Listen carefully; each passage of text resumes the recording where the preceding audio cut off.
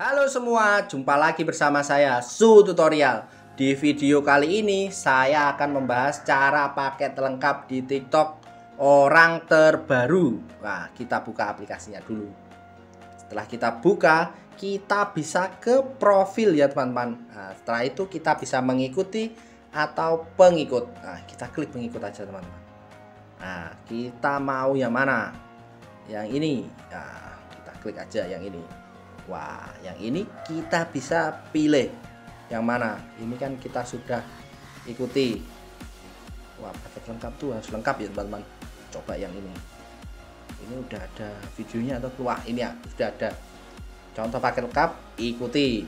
Nah, setelah itu klik video, like, lalu komen. Komen. Setelah komen, kita bagikan nah, salin tautan.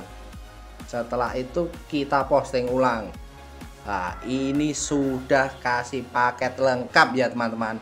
Kurang lebih begini caranya oke?